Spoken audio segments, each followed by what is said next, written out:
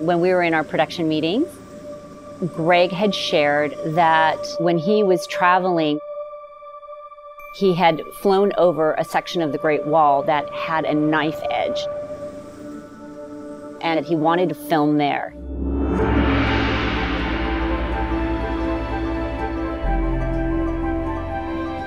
Once we touched down in China, um, it is pretty crowded. Tall, tall buildings. Everybody lives in huge buildings. It's about a two-hour drive from Beijing to the Great Wall. The greenery is just absolutely gorgeous.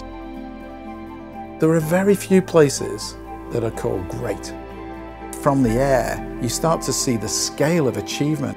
I'm really excited about getting acquainted again. You know, how's it aging? Uh, is, it, is it looking good? Is it feeling good? Once we got to the wall, ready to go climb. the top of that building, and then there's the way down. This is this was probably one of uh, 20 or 30 heart palpitating hikes that we've done trying to find the right location. How did these people actually build a structure as massive as this right on the top of a mountain? It really came to light how treacherous the area is. Nobody could possibly have climbed over that section of wall. But of course, we're working against lots of problems. The weather doesn't cooperate with us very much. You know, I mean, how do you, how do you plan around that? To get a shot of what we want, I mean, we were hanging on for dear lives ourselves sometimes.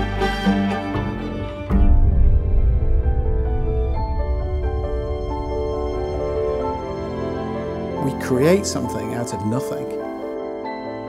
And that's part of being an engineer.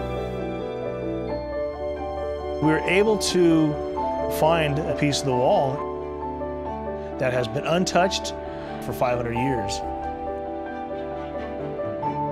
And it is absolutely beautiful.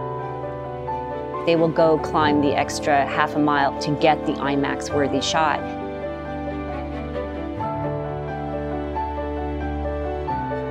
When we see the names stamped in the bricks of the wall of the people who built it, there's, there's a piece of us inside this wall. And in all these great engineering projects that people are going to see in this IMAX movie, that's the common theme. That if you become an engineer, you can put your stamp on history